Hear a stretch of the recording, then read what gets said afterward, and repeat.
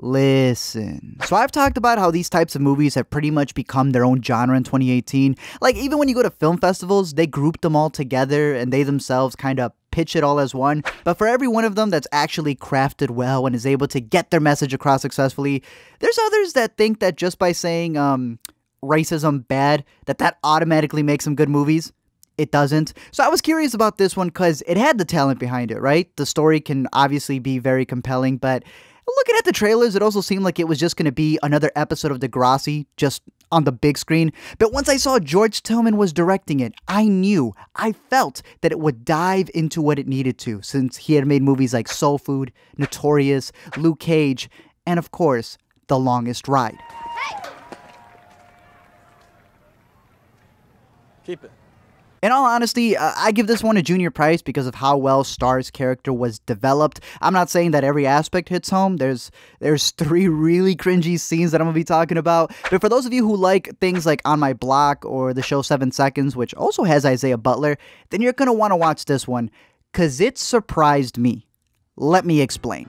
So this movie is based off of a novel that expands on Tupac's acronym of thug life. That the reason so much chaos happens in certain places is because people grow up automatically having so much hate in their hearts for things that have been done to them. That's why Starr and her siblings get sent to a preppy school since their mom Regina wants them to roam the nicer halls even if they don't always fit in. That's why the colors shift in every scene, so every time she's back home, everything's super warm, while when she's away and she's in the preppy school, it's bluer than Eiffel 65. And that's because all of the kids who she meets there are allowed to speak slang to her and they think it comes off as cool, but she knows at the moment that she does it, they're all gonna think that she's too hood. Williamson Starr doesn't give anyone a reason to call her ghetto, and I hate myself for doing it. It's like when twerking was never broadcast for the same reason, but then, you know, Miley did it and we couldn't escape it.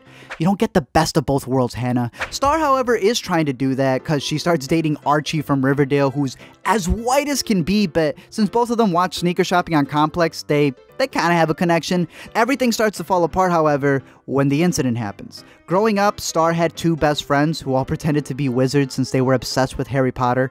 Love the series the same. Definitely have seen each one twice. But the thing is, is that when one of them got shot in a drive-by, that started breaking their bond, especially considering that Starr's dad was mixed in with the people who did it, and they even told her that she wasn't allowed to snitch at all. Hence the acronym. Years later, she reconnects with Khalil at a party, and this dude is as smooth as can be. Like, their friendship just picks up like nothing. Years can pass by and they're okay. And this man even goes in for a kiss, and she goes, Whoa, I got a boyfriend. And he's like, soccer's got a goalie. Don't mean I can't score. And she felt that. Obviously, things don't end well when he gets pulled over just because he reached for a comb, and that's where the movie really started surprising me, specifically Amandla Stenberg's performance. Like, I've seen her as Rue, right? I saw her in that Darkest Minds movie that wasn't for me, and everything, everything I've seen her in, I had no clue she had these acting chops on her. There were scenes that reminded me of Alex in Hereditary, if you know what I'm talking about. Like, just the way she reacted to the entire incident, I thought was way more impactful than some other movies who try to cover it from the outside. But you had her waking up from night terrors, she was puking like days after the incident had happened, but as much as I loved her performance, that doesn't mean there wasn't some cringy scenes, right? Common, who's in this movie and he's playing the uncle who is also a police officer, pretty much acted like that super Christian kid who has to play Satan in the church play. You know, he really doesn't want to do it, so he like says all of his lines with his fingers crossed behind him. There's a scene between him and his niece who's asking him these questions, and in the movie Monsters and Men, which I love, they have a scene like that and they do a fantastic job with it.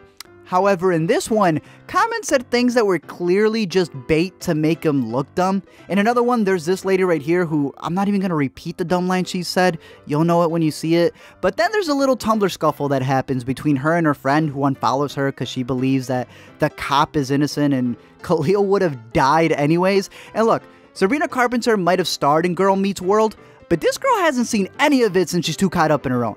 Later on in the movie, there's a scene where the preppy school treats the March for Khalil as a day to play hooky, and they all pretend to care about him just so they can, you know, skip the exams they needed to take that day. And ironically, the movie plays logic in the background. But it's all that buildup that causes Starr to appear as the star witness and testify against the cop, which only rises tensions from the police, the local gang, and her boyfriend, who, you know, After that limo talk, he's actually a pretty good dude. By the end, the cop doesn't get indicted, but the movie climaxes in a scene that I personally don't believe would have ended as peacefully in real life, but I get what they were going for. At that point, the local gang and the dad go up in arms, and right before they're about to shoot each other, it turns out that the little brother pulled a crash and he's the one who took the dad's gun, and then the cops pull up on the little kid. Again, the acronym. Somehow things end peacefully in that scene, which was probably the biggest miracle that could have happened, and everyone is able to settle down and continue living. Again, I think these right here are movies that do a fantastic job at covering subjects like this, but I was surprised that this one was able to deliver it well, in my opinion. There have been a lot of other movies that have covered this, there's going to be a lot more that are going to come out, and I'm always here to support the good ones, but I'll always stand by the fact that a group shouldn't be defined by these tragically sad movies. It's just, whenever they do make a good one, a happy one, Others get upset they love it. Thank you guys for checking out this video. I'm curious to know your thoughts down below in the comments section. I was surprised at how many things I was reading that people didn't even want to see this movie, which is, you know, it's it's fine. It's still a, even if it has an important message, uh, the movie may not deliver to you acting wise and all that stuff. That's why I was surprised with it, but people walking out because they didn't want to, I guess, watch the movie. I like that. I thought the part with the wand, where it turns out he did have the wand the whole time, that one hit home. I one of the, my favorite lines in it was when he, when she says that she isn't going to be Starr version 2.0, she's just going to be Starr because it's like for real, you know, you don't need to restart since your past makes you.